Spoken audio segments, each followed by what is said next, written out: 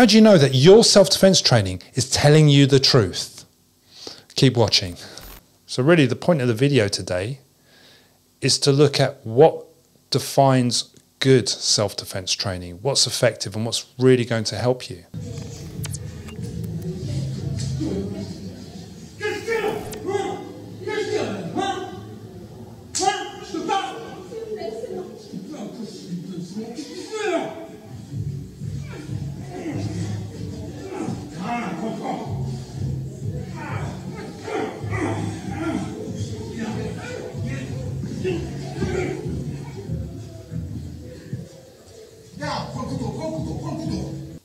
So this video is showing some people training what you've explained to me is the Kalah system, which is a private company based on the Israeli Krav Maga system. You know, the reason why I like this is because of the emotional component. It's very, very real. I mean, if we look at some other videos, their videos really have been sort of quite controversial. So McDojo Life did a breakdown.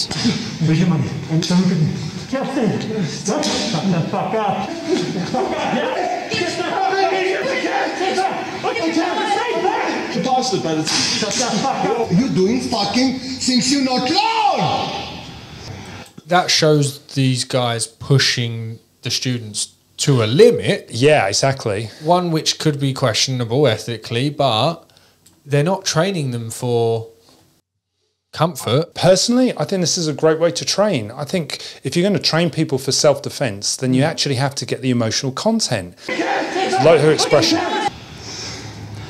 Key thing, you can see that. You can see that she's actually experiencing it for real. At least she knows what it feels like to be slapped in the face and berated and shouted at, so that when someone's doing it, she's already got. It's like you've said before. The exposure, the exposure to these things is what builds the strength.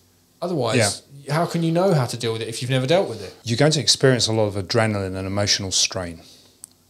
And if you haven't felt that before in training, then when it actually happens, you're going to freeze, you're going to panic. Mm. And so I think as trainers, people that train really, people to defend themselves, you you owe them a responsibility to make it as tough as you can emotionally within obviously within a safe confine but you've got to push the bound you have to push the boundaries. This is from uh, totally pointless tv so this is an example of uh, the other extreme of how ladies are trained in self-defense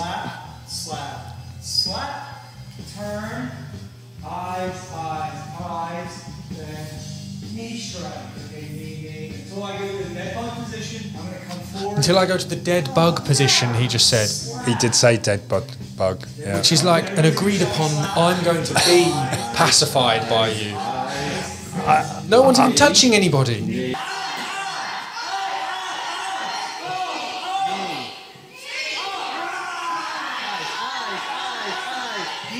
you can see the distress on my face And Can't not on you? hers. Her, she's like this. She's smart. She's having a great time. Uh, uh, this is what worries me. Anytime you have people that are training that are smiling, and they're supposed to be training in a scenario event, it should be there should be a little bit of stress. Yeah. You shouldn't be smiling.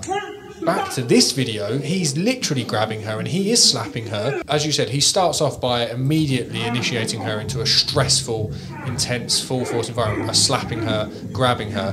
What I like about this, especially the, the Kalah system, is that they start it with a reality, a realistic scenario. Yeah. You know, the slaps, the pressure, the shouting, the demands, the Degrading, weapons. it's- it is it's degrading. shocking, it's It is shocking. But I can tell you, a lot of people would not would not sign up for this. Yeah, because they think it shouldn't be like this. Yeah, they think it should be nice and pretty.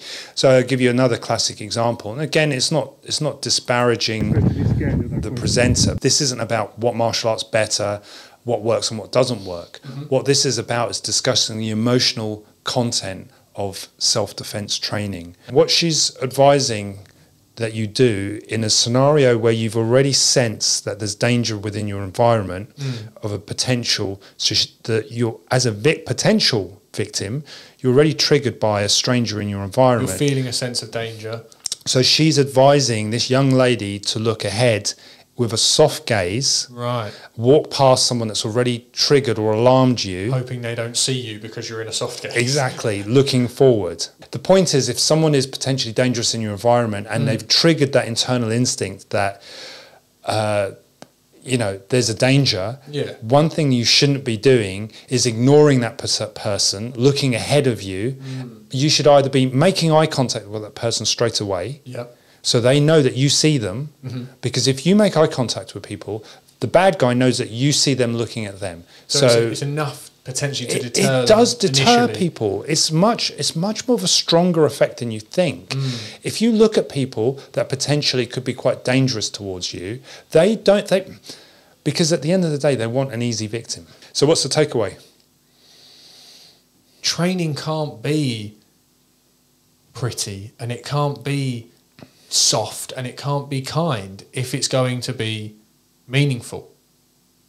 I think at the end of the day, you have to train the mindset of putting yourself in that situation. You've got to induce panic in training. Mm. You've got to feel like you're scared. You've got to feel that adrenaline. You've got to feel that emotion. And if you don't feel that in training, then that's not going to translate to real self defense. The minute you're exposed to it in real life, it's going to overwhelm you because you're not familiar with it. Yeah, absolutely. And if you're smiling and having fun in training, which don't get me wrong, it's not a bad thing to have, but if we're actually training mm. to get the job done, then I need to be able to get the job done. And that's the most important thing. But above that, eyes, eyes, eyes, knee, knee, knee, And the dead bug Until he's in the dead bug, you don't stop kneeing. Thanks for watching.